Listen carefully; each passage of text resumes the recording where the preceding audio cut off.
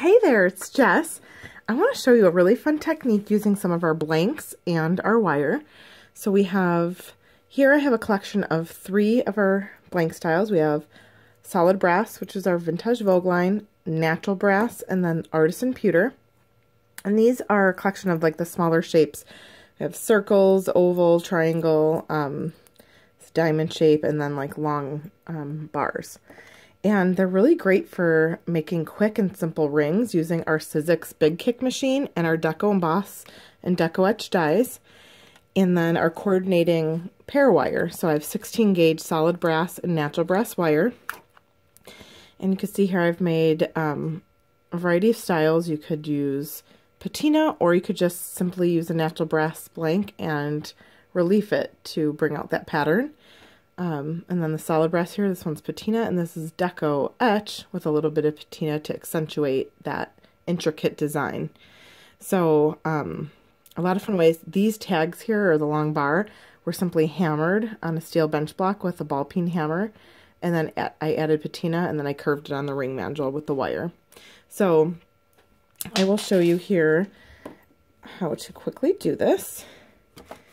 I'm using the standard platform and so the shim on the big kick and one clear cutting pad.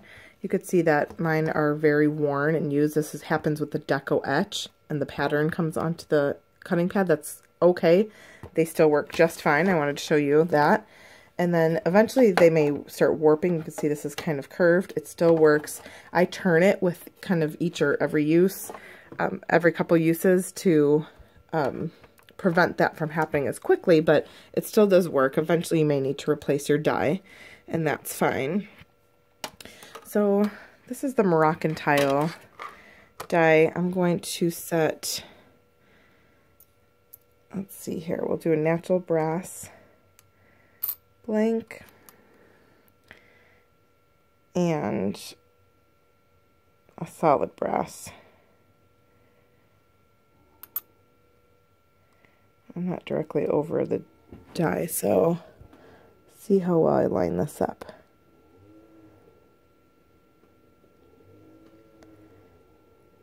Oh, this will be a little off. That's that's okay, right? Okay, so I'm gonna close that up. Actually, I have that upside down. Not a big deal. And run that through.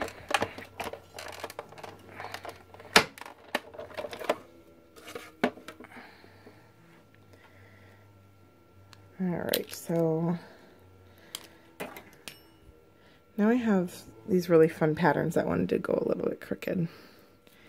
I did one before. So here you could see the same pattern on solid brass, solid brass here, natural brass on the top, um, and then the natural brass here.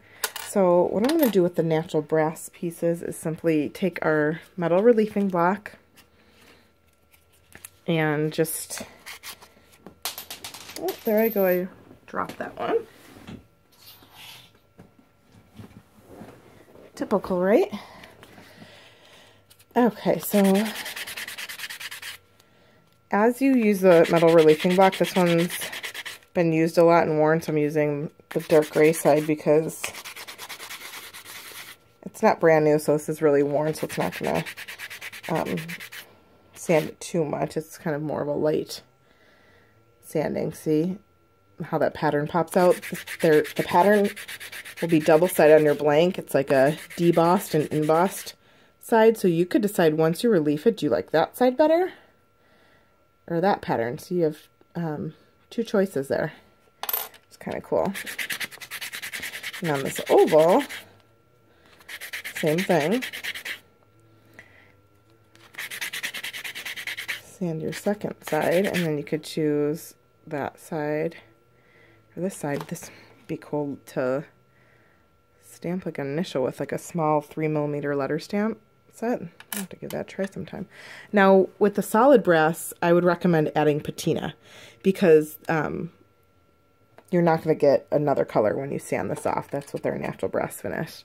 You get the solid brass color in the background. So with this, you would add patina to accentuate the design, or you could just wear it light like that. So The next step is to simply take 16 gauge or you could do an 18 gauge, but I like working with a 16 gauge wire to create the band. And you could go with the lighter solid brass, which this one here um, will eventually tarnish because it's just raw solid brass wire, where this natural brass is a colored wire, and this is a non-tarnish premium quality wire, so this will stay this dark color. Um, I'm going to go with the solid brass. I love the look of this lighter brass. So what I do is, first I'm going to add a second hole. So you see where the first hole is in your blank.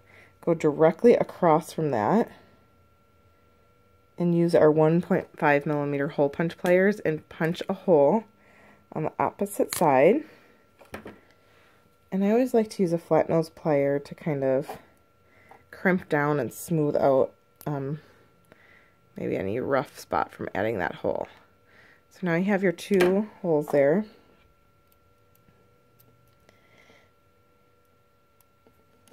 I'm going to have this as the top of my um, ring. So I want to make sure that this, the wire is sticking up towards, you know, that in that direction. And I'm going to use a metal ring mandrel to bend this around.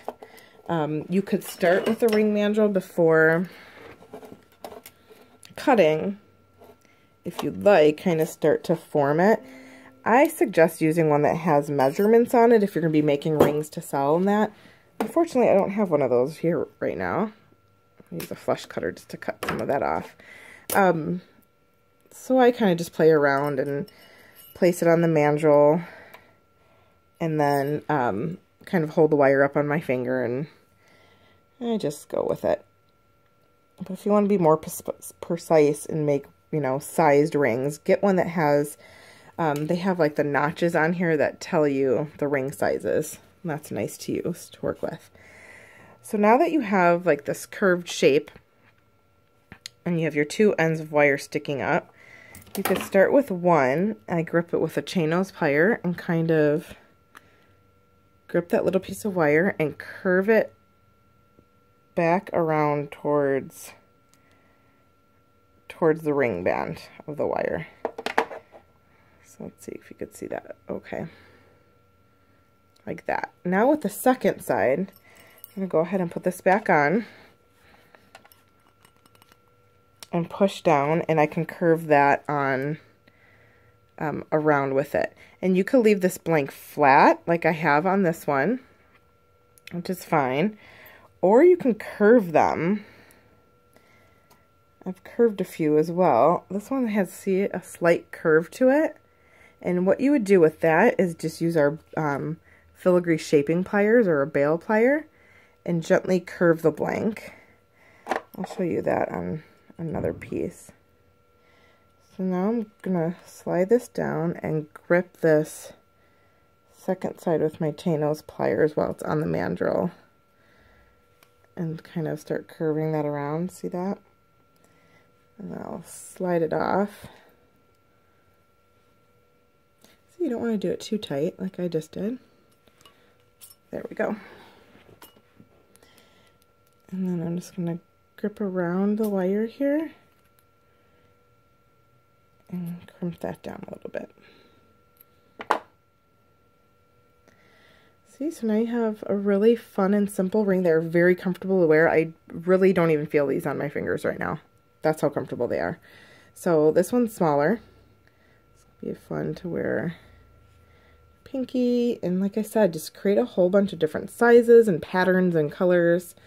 Um, so I would show you this. So once you have your hole on both sides, let's say I punched one on this side too, you're going to curve it in that direction because that's obviously where um, it's going to be sitting on your finger. So I just hold the larger 8 millimeter side of the barrel plier behind the blank and use my thumb to kind of push as I'm curving and turning turning this. So this has a slight curve to it. So when it sits on your finger, it's resting a little bit more flat where, or a little bit, you know, shaped on your finger than flat. But I like it both ways, so. And again, here's the Artisan pewter. This ring and this ring was done with our vintage embroidery deco etch die. So you could see the silver with this pattern here and the brass with this flower. And then onyx black patina and our earth brown to accentuate the pattern. Really fun. And then the same Moroccan tile die with some of our patina. So, um, yeah, just get creative and have fun mixing metals and trying different shapes and patterns and colors. And um, I have other fun ideas with larger blanks with you could do the same thing with um, deco emboss and deco etch or patina or just texturizing with a hammer or letter stamping and then dapping them and riveting them to a ring base. So I'll have to show that technique sometime soon too. But um, give it a try and have fun. Bye.